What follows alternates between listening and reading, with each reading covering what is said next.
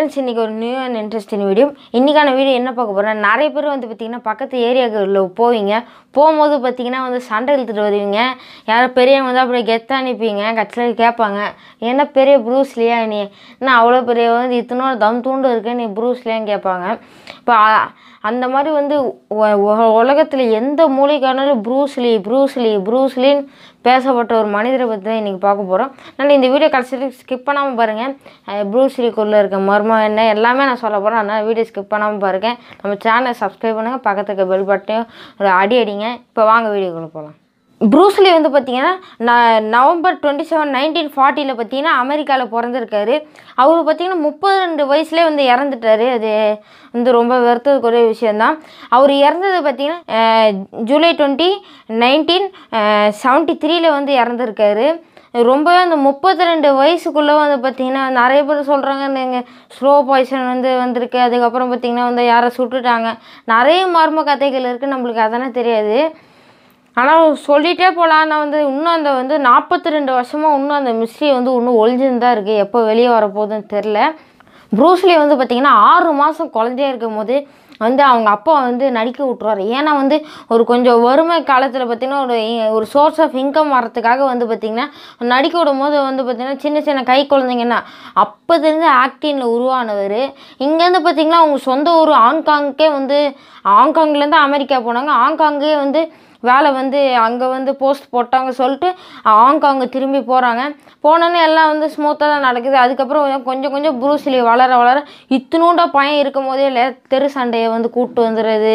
நம்ம நிறைய பேரை பார்த்துட்டு தெரு சண்டை கூப்பிட்டு வர்றது. நிறைய வேலை பண்ணியிருந்தார் ப்ரூஸ்லி அப்போ தான் வந்து அப்போ அவங்க அப்பாவில் தருதலை இவனை பெத்ததுக்கு வந்து பக்கமே இருக்கல அந்த மாதிரிலாம் நினச்ச நினச்சாங்க.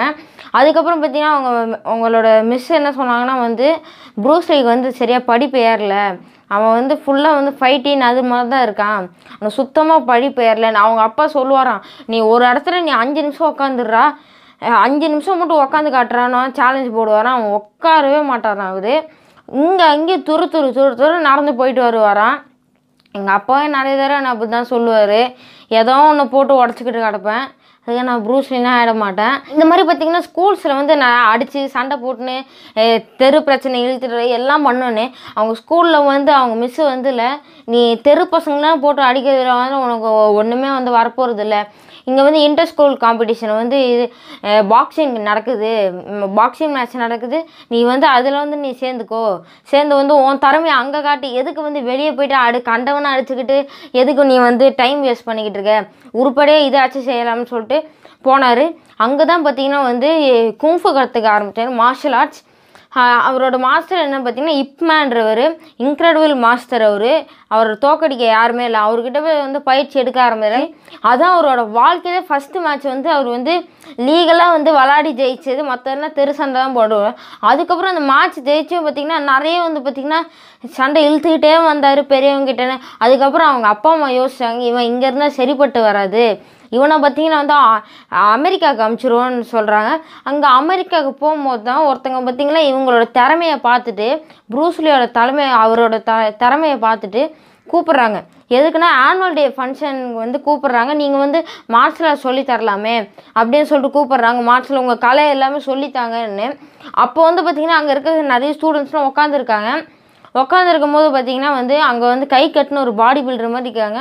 எல்லாருக்கிட்டையும் கேட்குறாங்க நீங்கள் வந்து எங்கூட சண்டை போட வரீங்களா ஃப்ரெண்ட்லியாக எங்கூட சண்டை போட வரீங்களான்னு கேட்குறாங்க அப்போ பார்த்தீங்கன்னா ஒரு அவரே சூஸ் பண்ணுறனாரு ஒரு பாடி பில்டர் அப்படியே வெயிட்டான பாடி பில்டரை செலக்ட் பண்ணுறாரு செலக்ட் பண்ணோன்னே அவர் வந்து சிரிக்கிறாரு. ஃப்ரெண்ட்லியாக தான் எடுத்துகிட்டு வந்து சிரிக்கிறாரு தம்பி நீ வந்து நானா உன்னை தள்ளி விட்டாலே நீ கீழே வந்து என்ன அடிக்க போறியான்னு?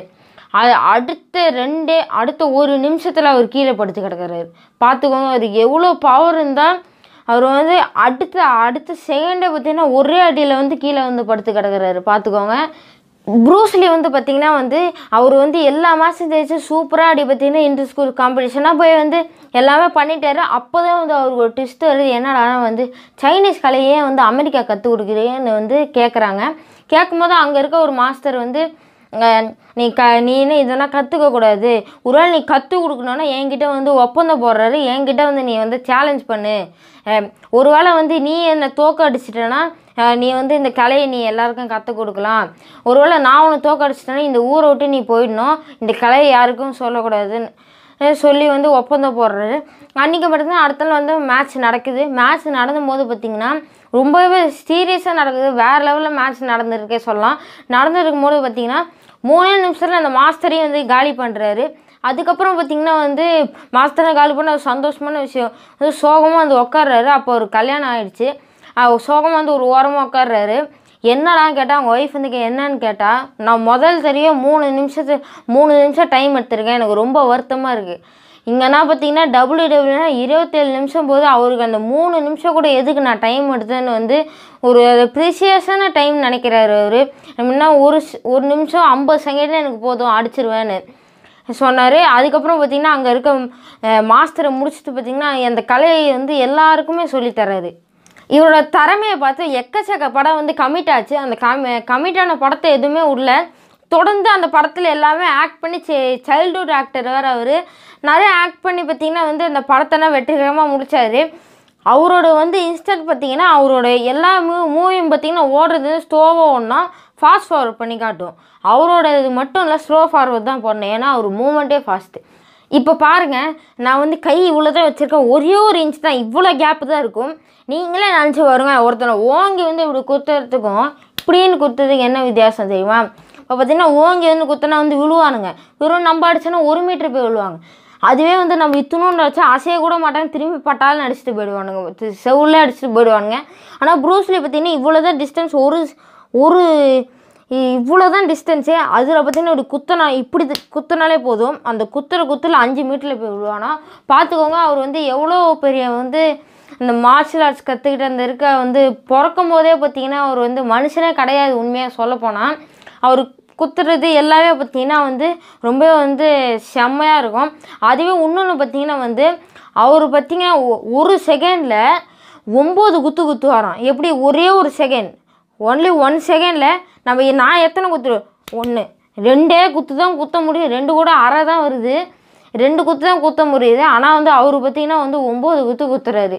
அப்போனா பார்த்துக்கோ அவர் ரியலி மனுஷனே கிடையாது அவர். ப்ரூஸ்லி வந்து பார்த்தீங்கன்னா ஓ நம்ம நம்ம நம்ம எப்போதுமே சாதாரணமாக புஷ்அப் எடுப்போம் நீங்கள் எவ்வளோ புஷ்அப் எடுப்பீங்க? மினிமம் ஒரு பத்து எடுப்பீங்களா? பத்தே ஒரு இருபது.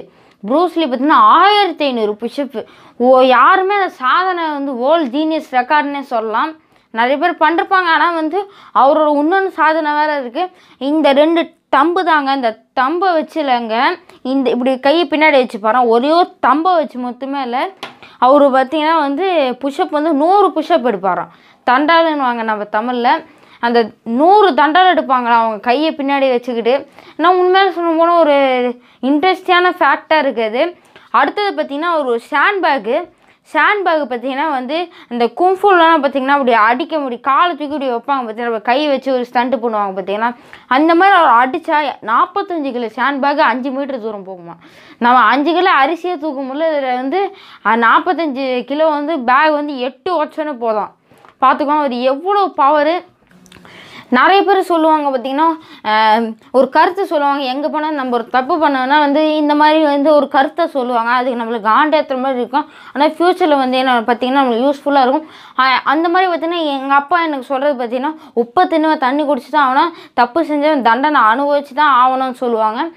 ஓகே ஃப்ரெண்ட்ஸ் ப்ரூஸ்லி அவர்கள் என்ன சொல்லியிருக்காருன்னு பார்த்தீங்கன்னா வந்து நிறைய கோட் சொல்லியிருக்கேன் அதில் எனக்கு தெரிஞ்ச கோட் தான் நான் சொல்ல போகிறேன் தண்ணி வந்து எந்த இடத்துல போட்டாலும் வந்து அதே இடத்துக்கு மாறிக்குன்னுவாங்க அதே மாதிரி தான் நம்ம என்ன பிரச்சனை வந்தாலும் அதே மாதிரி வந்து நம்ம ஃபேஸ் பண்ணி அதுக்கு தகுந்த மாதிரி போனால் நம்ம லைஃப் நல்லாயிருக்கும் தான் வந்து அவர் சொல்கிற எனக்கு தெரிஞ்ச கோட் இந்த வீடியோ போய் இன்ஃபர்மேட்டிவாக இருந்தால் இந்த வீடியோவை லைக் பண்ணுங்கள் ஷேர் பண்ணுங்கள் மறக்காமல் நம்ம வீடியோ டபுள் தமிழ் ஓட்டியை சப்ஸ்கிரைப் பண்ணுங்கள் பெல் பட்டன் எல்லா பட்டனும் அமுக்கிட்டு நீங்கள் அடுத்து என்ன வீடியோ போடணும்னு சொல்லுங்கள் கண்டிப்பாக நான் வந்து அடுத்து என்ன இன்ஃபர்மேட்டிவ் வீடியோவோ கேமிங் வீடியோவோ ஏதோ ஒன்று கேளுங்க. நான் வந்து கண்டிப்பாக நான் எடுத்து நான் போடுறேன். தமிழை கற்போம் தமிழை வளர்ப்போம் தமிழை காப்போம்.